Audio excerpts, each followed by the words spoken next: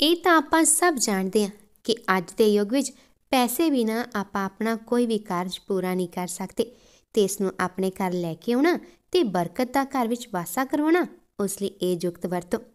ਜੇਕਰ ਚਾਹੁੰਦੇ ਹੋ ਜੀਵਨ ਵਿੱਚ ਕਿਸੇ ਵੀ ਚੀਜ਼ ਦੀ ਘਾਟ ਨਾ ਹੋਵੇ, ਤਾਂ ਸ਼ੁੱਕਰਵਾਰ ਸੂਰਜ ਡੁੱਬਣ ਤੋਂ ਬਾਅਦ ਇਹ ਕੰਮ ਜ਼ਰੂਰ ਕਰੋ। ਕਿਹਾ ਜਾਂਦਾ ਹੈ, ਘਰ ਦੀ ਸਫ਼ਾਈ ਤਾਂ ਰੋਜ਼ ਕਰੋ, ਪਰ ਇਸ ਦਿਨ ਘਰ ਚੰਗੀ ਤਰ੍ਹਾਂ ਹਰ ਥਾਂ ਸਾਫ਼ ਸੁਥਰੀ ਕਰੋ। ਕਈ ਲੋਕਾਂ ਦਾ ਕਹਿਣਾ ਹੈ ਕਿ ਮਾਇਆ ਸ਼ਾਮ ਨੂੰ ਹਰ ਘਰ ਵਿੱਚ ਆਉਂਦੀ ਹੈ ਤੇ ਜਿੱਥੇ ਸਾਫ਼ ਸਫ਼ਾਈ ਹੋਵੇ, ਉੱਥੇ ਵਾਸਾ ਕਰਦੀ ਹੈ।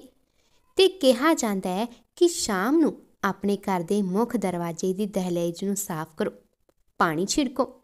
ਇਸ ਪਿੱਛੇ ਤੱਥ ਇਹ ਹੈ ਕਿ ਘਰ ਦਾ ਹਰ ਕੋਨਾ ਸਾਫ਼ ਹੋਵੇ ਤੇ ਉੱਥੇ ਆਪੇ ਬਰਕਤ ਵਾਸ ਕਰਦੀ ਹੈ। ਸ਼ਾਮ ਸਮੇਂ ਗੁੜ ਦਾ ਦਾਨ ਕਰੋ ਜਾਂ ਮਿੱਠਾ ਕੁਝ ਵੀ ਬਣਾ ਕੇ ਇਸ ਦਿਨ ਜ਼ਰੂਰ ਵੰਡੋ। ਖੰਡ ਤੇ ਆਟਾ ਰਲਾ ਕੀੜੀਆਂ ਨੂੰ ਜ਼ਰੂਰ ਪਾਓ। ਤੁਸੀਂ ਇੱਕ ਦਿਨ ਦਾ ਅਨਾਜ ਕੀੜੀਆਂ ਨੂੰ ਦਿੱਤਾ ਪਰਮਾਤਮਾ ਤੁਹਾਡੇ ਕਈ ਦਿਨਾਂ ਦਾ, ਇਸ ਕਾਰਨ ਤੁਹਾਡੇ ਘਰ ਦਾਣਾ ਪਾਣੀ, ਅੰਨ ਤੇ ਧਨ ਦੇ ਭੰਡਾਰ ਭਰ ਦੇਣਗੇ। ਗਾਂ ਜੇ ਇਸ ਦਿਨ ਤੁਸੀਂ ਰੋਟੀ ਪਾਉਂਦੇ ਹੋ, ਤਾਂ ਜਦੋਂ ਰੋਟੀ ਪਾਉਣੀ ਹੈ ਤਾਂ ਵਿੱਚ ਗੁੜ ਦੀ ਪੇਸੀ ਜ਼ਰੂਰ ਰੱਖ ਕੇ ਤੇ ਫਿਰ ਹੀ ਉਹਨੂੰ ਖਵਾਓ। ਸ਼ਾਮ ਨੂੰ ਆਪਣੇ ਘਰ ਦੇ ਮੁੱਖ ਦਰਵਾਜ਼ੇ ਕੋਲ ਦੀਵਾ ਜ਼ਰੂਰ ਜਗਾਓ। ਪਹਿਲਾਂ ਬੀਬੀਆਂ ਕੀ ਕਰਦੀਆਂ ਸਨ? ਘਰ ਜਦੋਂ ਜਵਾਕ ਛੋਟਾ ਹੋਣਾ ਤਾਂ ਮੁੱਖ ਦਰਵਾਜ਼ੇ ਘਰ ਦੇ ਅੰਦਰ ਵਾਲੇ ਪਾਸੇ ਦੀਵਾ ਲਗਾਉਣਾ।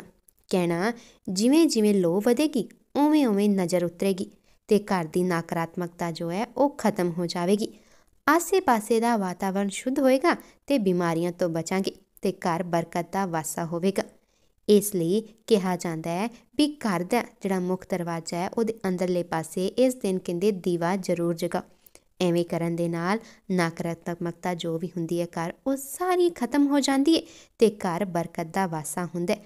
ਘਰ ਧਨ ਤੇ ਅੰਨ ਦੇ ਭੰਡਾਰ ਭਰੇ ਰਹਿੰਦੇ ਨੇ।